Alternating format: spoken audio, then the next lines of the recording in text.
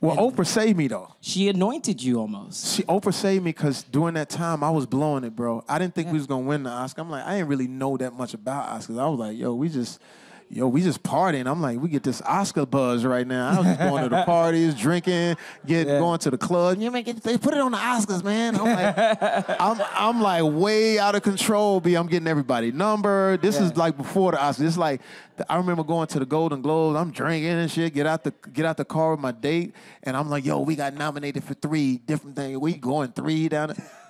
And so I didn't realize that there was a certain way that you had to approach this. Mm-hmm. And so I get a call from Oprah.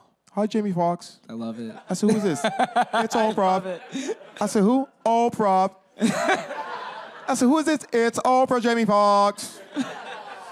and she literally said, listen, I want to talk to you because I think you could win this thing, but you're not going to win it the way you're acting. Because I was out there, well, I'm in Miami, I'm fighting in the club. She, I'm an Oscar, I'm about to win an Oscar, bitch. I'm that. So she says, I want to take you somewhere so you can understand the significance of what your Oscar will do for us and everybody in the world. I said, "Oh, I'm, I'm with you. So she takes me to Quincy Jones's house. and Quincy comes out, hey man, shit, man, you did a great job on it. great Charles, man, wonderful, man. I remember Michael and I when we did Thriller, man. It was such a great time. You know, 54 million records sold, man. But there was a certain way we had to carry ourselves, man. You know, because Ray Charles, you did a great job. Let's not blow it. And so I go into the to his house, and it's all of the black actors from the '60s and the '70s that I grew up watching.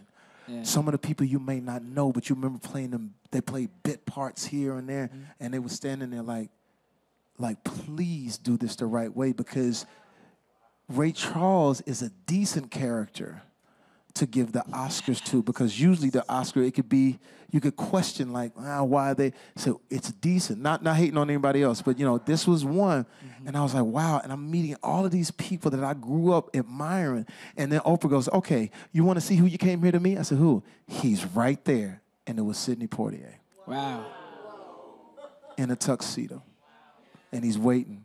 He said, go up there and talk to him and see what you need to do.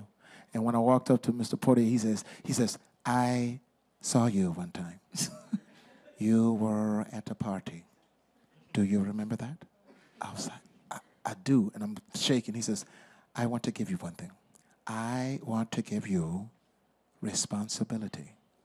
And I was, I was like, this. I said, I said, whatever I need to do, Mr. Poitier, I'll do it. And he says, Your performance made me grow two inches.